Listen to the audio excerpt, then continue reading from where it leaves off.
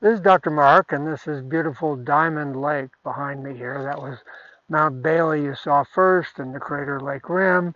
And going on past, we're going to have a view of Thielsen.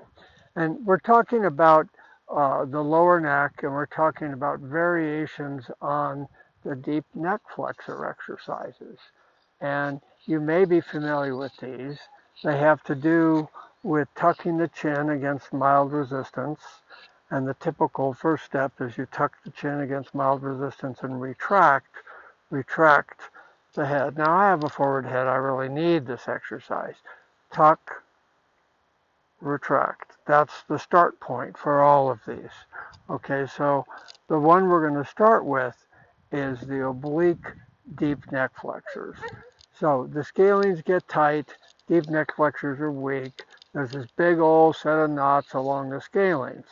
So if we wanted to do it for the left side, we would do that same tuck, retract, we would turn 30 degrees, we would bring the opposite hand up, and with mild resistance, the patient would push their head down toward the collarbone against mild resistance.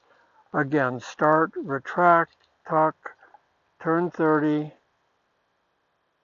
push the head forward with the shin staying tucked, you're flexing, you're not doing that, you're doing this.